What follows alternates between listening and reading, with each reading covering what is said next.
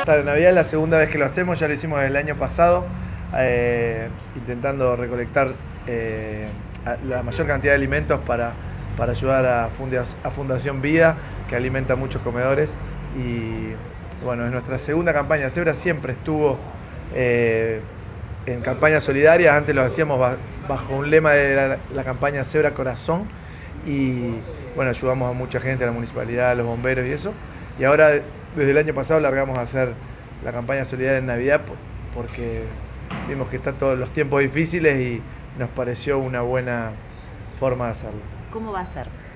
Nosotros ya desde el año pasado, desde siempre, Zebra invita mucho a sus clientes a, la fiesta de Navidad porque sabemos que es una fecha difícil, mucho gasto, mucho regalo, comida y todo eso. Entonces, siempre a nuestros clientes le damos la invitación para que disfruten esa fiesta los que quieran venir. Desde el año pasado decidimos que bueno, que a cambio le pedimos algo. El año pasado fueron juguetes, recolectamos un montón, los, repartimos en conjunto con la municipalidad por los lugares de acá de Carlos Paz, los merenderos. Y bueno, este año cambiamos y eh, preferimos ayudar a la gente que tiene hambre y, eh, juntamos alimentos no perecederos y, de esa manera vos podés entrar a Zebra.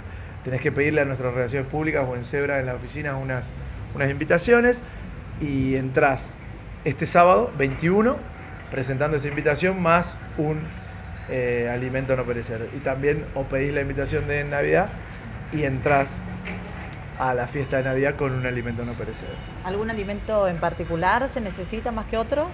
Ah, en harinas no pidieron muchos, porque hacen mucho pan y eso, muchas harinas y leche en polvo. Pero bueno, cualquier alimento no perecedero. Igual en las redes de Zebra está la información de los alimentos que más las chicas que están llevando adelante la campaña lo, están informando bastante bien. ¿La gente de Carlos Paz es solidaria? Sí, muy, siempre fue muy solidaria. Nosotros con Zebra hemos hecho campañas grandes de Zebra Corazón.